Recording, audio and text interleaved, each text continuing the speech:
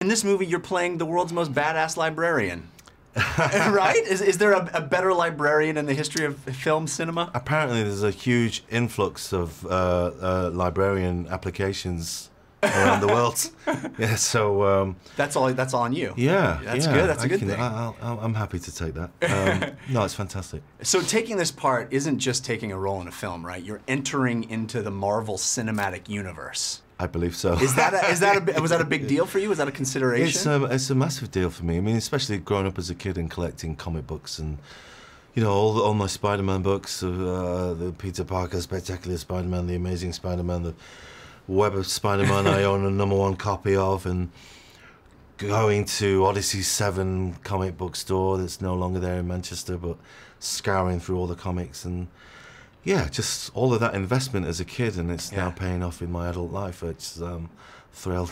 That's pretty amazing. Yeah. So you were a kid collecting comics, yeah. and that is that the first thing that really sparked your imagination and, and made you, uh, you know, ha have fantasy as part of your your imaginary yeah, life? Absolutely. Yeah. Yeah. Me too. And, um, I'm really kind of, but uh, but yeah, I was always sort of bereft that I, I, was always uh, crestfallen that there, there, were never any sort of Asian superheroes for me to sort of, um, right. you know, connect with. And then, you know, it was about a year and a half ago, uh, having lunch with Chiwetel, and he was doing Doctor Strange, and I was looking up on the uh, internet, and I couldn't believe that there was this character Wong. So.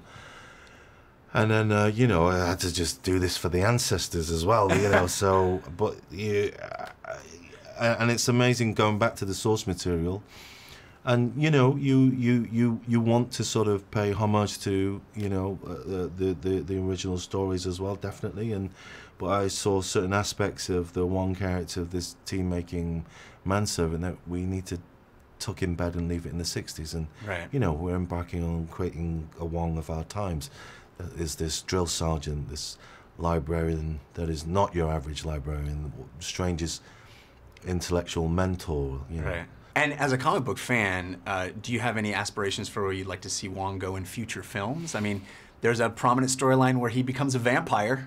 Are you? Uh, really? Yeah. Nice. Get bitten by Dracula in the comics. Wow. Okay. Um, yeah. Okay. Okay. Okay. Are you into that? Uh, yeah. Well, uh, let's have a look.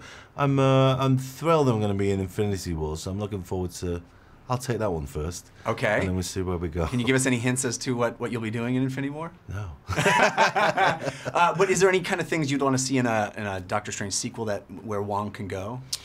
Well, it's where both of them go now from there, from sure. this launch pad into this multiverse, and it's, uh, you know, I think we really grab you by both hands and drag you through this because, you know, it's a visual feast uh, for the eyes, as you know, and it's definitely it really is something that you've got to go back and have a look at again. Absolutely. And um, yeah, I'm really looking forward to how it unfolds now with both these characters.